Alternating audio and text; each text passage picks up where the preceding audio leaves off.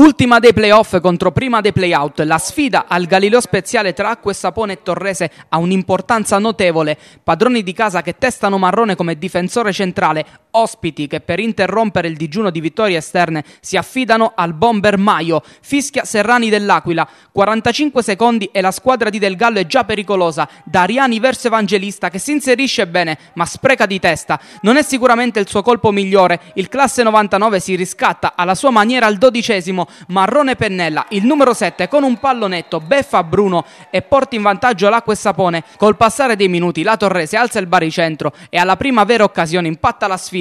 Maio porta a spasso mezza difesa avversaria, palla dietro per Stefano Kruger che spiazza Palena in un rigore in movimento. 1 a 1 e sfida nella sfida tra i fuoriquota delle due squadre. Alla mezz'ora Ariani anticipa Casimirri e spara al mancino che termina fuori di un soffio. La partita è accesa, Palena con i piedi evita il raddoppio doppio ospite, ma la vera prodezza a fine primo tempo la fa il suo collega Bruno che smanaccia sul palo il diagonale di Luca Marrone prova ad entrare in partita anche Chiacchiarelli, ma la mira non è precisa. Primo tempo su ritmi indiavolati e ripresa che nasce sotto le stesse aspettative. Ancora Ariani per Petito, in anticipo su tutti, ma la conclusione centrale. Dall'altra parte errore clamoroso di Di Biase che regala il pallone a Chiacchiarelli. Non è d'accordo Palena che mette in calcio d'angolo con una parata spettacolare. Risponde l'acqua e sapone con le discese di Piedimonte, ma il destro è da cancellare. E così, alla mezz'ora, la Torrese piazza il colpo del vantaggio vantaggio. Scambio verticale tra Puglia e Maio e stoccata che varrà tre punti pesantissimi grazie al sesto centro in campionato per l'attaccante. Gli spazi per la truppa di Cristofari diventano invitanti.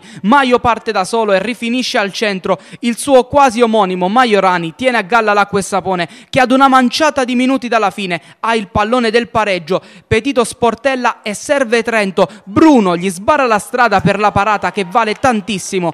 Prima vittoria esterna stagionale per la Torrese che balza al terzo posto in classifica. L'acqua e sapone manda invece in archivio un'altra sconfitta per un gennaio 2019 davvero da dimenticare. Mister Cristofari sembrava una trasferta come le altre di questa stagione, poi si è messa benissimo, soprattutto nel secondo tempo, una vittoria fondamentale che vi porta al terzo posto.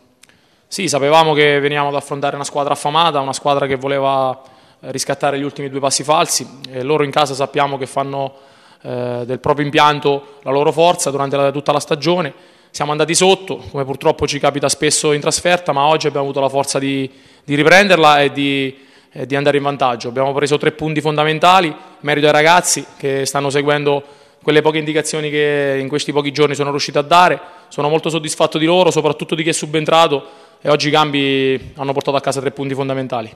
Mister Del Gallo, terza sconfitta consecutiva in questo gennaio nero, fermati oggi da quel clamoroso intervento di Bruno a due minuti dalla fine. Sì, i ragazzi veramente sono stati straordinari, hanno fatto una partita immensa. Eh, veramente mi dispiace per loro perché non meritavano sicuramente questa sconfitta. Eh, abbiamo fatto un grandissimo primo tempo, li abbiamo contenuti bene, abbiamo avuto delle grandissime occasioni per, eh, anche per raddoppiare. Nel secondo tempo li abbiamo sempre contenuti, forse nell'unica nell occasione che abbiamo lasciato a loro, a parte un'altra parata di Alceo, ma abbiamo avuto delle occasioni soprattutto all'ultima con Nico Trento per, per, pareggiarla. È un periodo ovviamente che ci fa storto, però se, se la squadra gioca in questa maniera sono molto molto fiducioso.